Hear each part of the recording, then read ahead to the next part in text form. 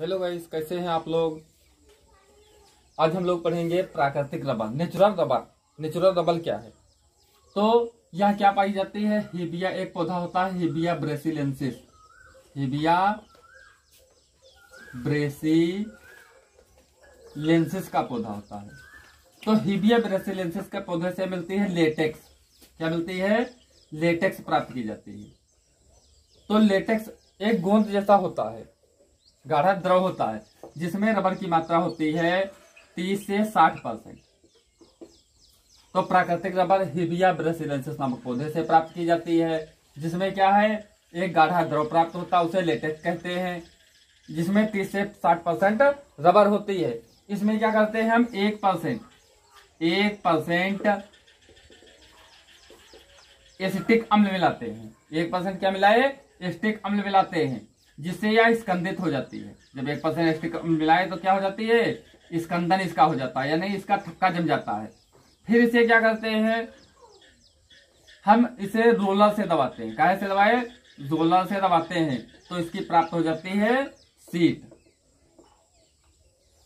तो प्राकृतिक रबर हिबिया ब्रेसिलेंसिस नामक पौधे से प्राप्त की जाती है, जिससे एक गाढ़ा गोंद जैसा पदार्थ प्राप्त होता है, जिसमें रबर की मात्रा तीस से साठ परसेंट होती है। इसमें एक परसेंट एस्टिक अम्ल जैसे मिलाते हैं। वैसे ये स्कंदन इसका हो जाता है थक्का जम जाता है। फिर रोलर से दबा करके हम सीट प्राप्त कर लेते हैं। जो कि होती है, प्राकृतिक रबर होती है पाली आइसोप्रीन, जो कि जिसका एकलक अणु होता है आइसोप्रीन। क्या होता है? आइसोप्रीन, जिसका सूत्र होता है C H two C C H three C H C H two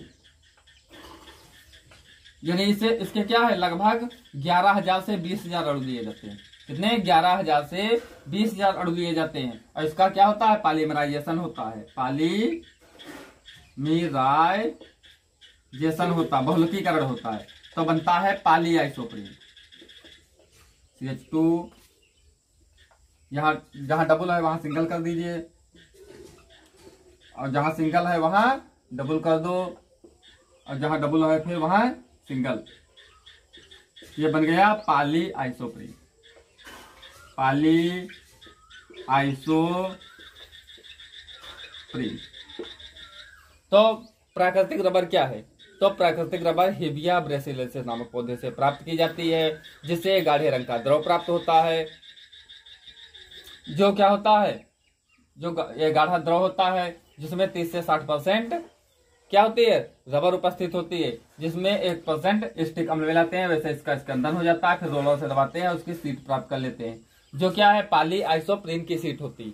तो पाली आइसोप्रीन ये इसका सूत्र क्या होता है? आइस, ये आइसोप्रीन का बहुलक है।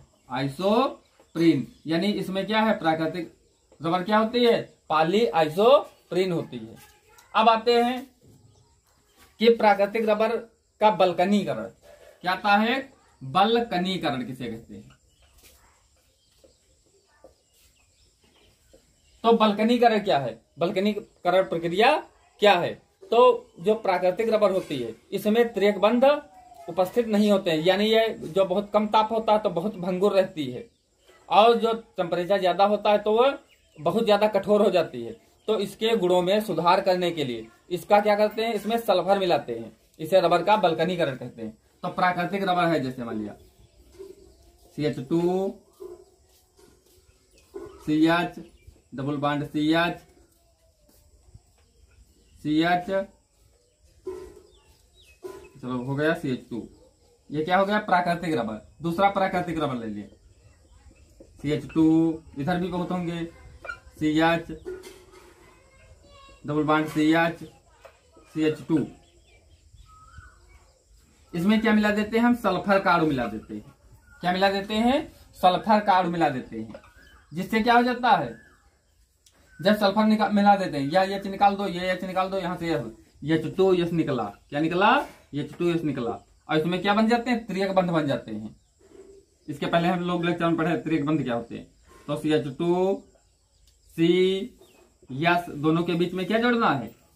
यस को जोड़ देना है। सी एच टू ये टू ये क्या है? इसमें त्रिक बंद बने। यानी रबर के गुणों में सुधार करने के लिए इसमें सल्फ़र जोड़ते हैं। इसका उपयोग टायर बनाने में, बेल्ट बनाने में हाज पाइप बनाने में किया जाता है। ऑटोमोबाइल्स की बेल्ट होती है जिससे अल्टर चलता है। उसको बनाने में इसका उपयोग किया जाता है। जब इसमें सल्फ़र में थैंक यू